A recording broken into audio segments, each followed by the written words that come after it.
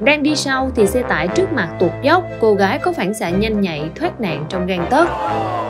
Theo đó, trong khi mọi người dừng xe bên đường để đợi rẽ vào con hẻm, có chiếc xe tải đã chậm chậm bò lên dốc.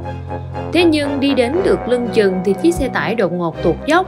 Người phụ nữ chạy xe trắng chở con nhanh chóng lùi về phía sau, thoát được sự va chạm trong gang tấc. Cô gái áo đen nhìn thấy chiếc xe tải đang lao về phía mình, cũng hốt hoảng bỏ cả chiếc xe để bảo toàn thân thể. Rất may ngay khi cô gái kịp nhận thức được vấn đề và bỏ của chạy lấy người, chiếc xe tải cũng đã lùi đến suýt soát khoảng chưa đầy 1 mét, đồng thời kéo lê chiếc xe máy của cô đi thêm vài mét nữa.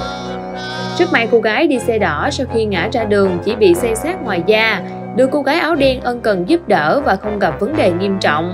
Tuy nhiên, sau sự bất cẩn của người tài xế xe tải, hai chiếc xe máy của hai cô gái đều nằm gọn dưới gầm xe. 10 phần có lẽ chỉ còn khoảng 6 phần nguyên vẹn. Mặc dù vẫn có nhiều người hài hước bông đùa rằng khả năng cao hai cô gái sẽ được lên đời một chiếc xe mới do tài xế xe tải đền bù. Tuy nhiên, đây vẫn là một tình huống vô cùng nguy hiểm khi tham gia giao thông. Mọi người cần nên quan sát cẩn thận trước khi lái xe, dừng xe và lùi xe để đảm bảo an toàn cho bản thân và cho những người tham gia giao thông khác. Cảm ơn các bạn đã quan tâm theo dõi. Đừng quên đăng ký kênh Tin 3 Phút để cập nhật tin tức nóng hổi mỗi ngày.